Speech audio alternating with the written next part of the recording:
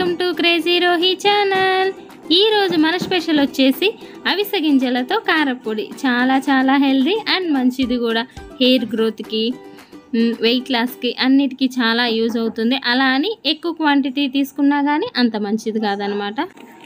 ఈ కారపొడి చాలా చాలా మంచిది. మనం అన్నంతో కానీ ఇడ్లీతో కానీ దోశతో కానీ ఎలా అయినా తీసుకోవచ్చు. వేడి వేడి అన్నంలో అలా నెయ్యి వేసుకొని తింటే చాలా బాగుంటుంది. ఇడ్లీలో కానీ చా సూపర్ అంటే సూపర్ ఉంటుందండి. మన వీడియోలోకి అయితే వెళ్ళిపోదాం. ఫస్ట్ మనం అవిసె గింజలు ఒక బౌల్ తీసుకున్నాను నేను ఒక ఫుల్ బౌల్ అవిసె గింజలు తీసుకొని ఒక మందపాటి కడాయి పెట్టుకున్నాను నాన్ స్టిక్ ప్యాన్ పెట్టుకున్నాను. ఇవైతే త్వరగా కలర్ చేంజ్ అవ్వవు కదా సో నాన్ స్టిక్ ప్యాన్లో వేసుకొని సిమ్లో పెట్టి ఇవి బ్రౌన్ కలర్ వచ్చేంత వరకు వేయించుకుందాము. అప్పుడు కలర్ అనేది మనకు మంచిగా వస్తుంది. ఇవి ఆల్రెడీ కొంచెం బ్రౌన్గానే ఉంటాయి కదా మనకు తెలిసిపోతుంది వేగింది లేనిది అనేది. అవిసె గింజలను ఎప్పుడైనా సరే మనం పచ్చిగా అయితే తీసుకోకూడదండి. పచ్చివి తినకూడదు. వేయించుకుని కానీ ఉడకపెట్టినవి కానీ తిన తినాలి. పచ్చివి కనుక తిన్నట్లయితే మనకి వామిటింగ్స్ అలా అవ్వడం ఫుడ్ అరగపోవడం ఇలాంటివి జరుగుతూ ఉంటాయి అన్నమాట సో మనం ఎప్పుడు తీసుకున్నా కానీ పచ్చి మాత్రం తీసుకోకూడదు. వేయించినవి ఉడకబెట్టినవి ఇలాంటివి తీసుకోవడానికి ట్రై చేయాలి. మనకి చూడండి అవిసె గింజలు అయితే మంచిగా వేగిపోయాయి కదా. ఇప్పుడు అదే కడాయిలో కొంచెం ఆయిల్ వేసి ధనియాలు కొంచెం ధనియాలు వేసిన తర్వాత ఒక నిమిషం అలా వేయించి తర్వాత కొంచెం పచ్చ పచ్చెనపప్పు వేయాలి. మనం నల్ల కారానికి రెడీ చేసుకుంటాం కదా ఇడ్లీ కారం. అలాగే దీంట్లో కూడా అన్నీ వేస్తాము. కొంచెం మినపప్పు. దీన్ని అవిసె గింజలు అండ్ నువ్వులు కలిపి కూడా పౌడర్ కారపొడి చేసుకోవచ్చు అది కూడా చాలా బాగుంటుంది. నేను జస్ట్ అవిసె గింజలతోనే చేశాను. ఇందులో కొంచెం జీలకర్ర కూడా యాడ్ చేశాను.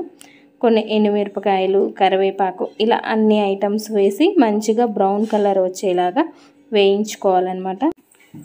చూడండి ఇవి మంచిగా కలర్ అయితే వచ్చేసాయి కదా. ఇందులో మనం ఇప్పుడు ఎండుమిరపకాయలు కరివేపాకు వేసి ఇవి కూడా మంచిగా కలర్ వచ్చేంత వరకు వేయించుకుందాము.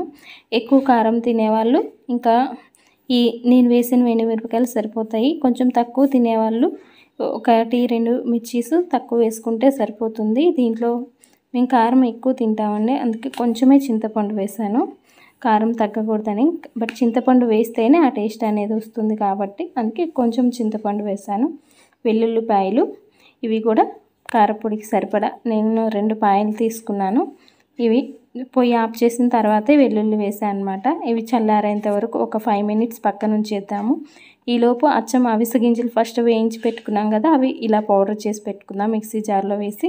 నెక్స్ట్ వచ్చేసి మనం మిగతావన్నీ వేయించుకున్నాం కదా అవి కూడా దాంట్లో అదే మిక్సీ జార్లో మొత్తం వేసేసి ఒకసారి గ్రైండ్ చేసుకుందాము. ఉప్పు వేసి గ్రైండ్ చేసుకుందాము.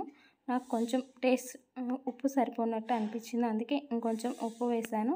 ఒకసారి మళ్ళీ గ్రైండ్ చేసేసుకొని తీసుకుంటే ఎంతో టేస్టీగా ఉండే అవిసె గింజలతో కారపొడి రెడీ అండి. ఈ వీడియో మీ అందరికీ నచ్చిందని అనుకుంటున్నాను. మీ అందరికి కనుక నచ్చినట్లయితే లైక్ చేయండి షేర్ చేయండి అండ్ కమెంట్ చేయండి.